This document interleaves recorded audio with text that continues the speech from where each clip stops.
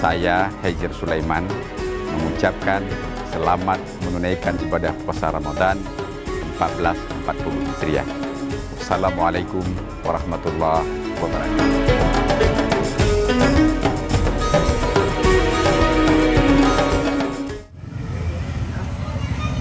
Sederalun, pendopo Bupati Aceh Barat Daya yang berada di Desa Gelempang Payung, Kecamatan Blangpidi, Selasa 14 Mei siang diteror bahan peledak jenis granat nenas.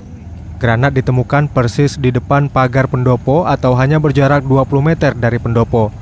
Penemuan granat ini cukup membuat heboh dan mengundang keingintahuan masyarakat untuk melihat di lokasi. Kepolisian sebelumnya sempat memberikan garis pembatas sembari menunggu tim penjinak bahan peledak Satrim Bobda Trumon dan Nagan Raya untuk proses pemindahan granat.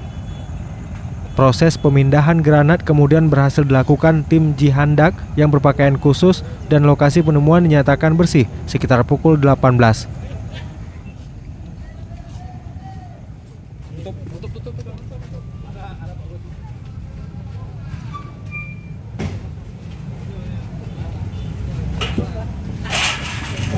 Sejauh ini saya berharap masyarakat kita khususnya Apia nggak usah kepanikan, nggak usah ragu, kita tetap mengamankan, pastikan bahwasanya uh, Apia ini tetap aman lah ya.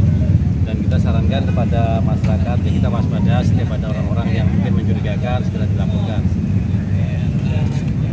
Ya nanti rencana kita akan usulkan tadi kepada Bupati untuk dipasang CCTV terutama di tempat-tempat yang kita anggap harus ada misalnya di pendopo, di persimpangan jalan sehingga sewaktu-waktu ada diperlukan seperti kejadian seperti ini bisa kita lebih cepat untuk.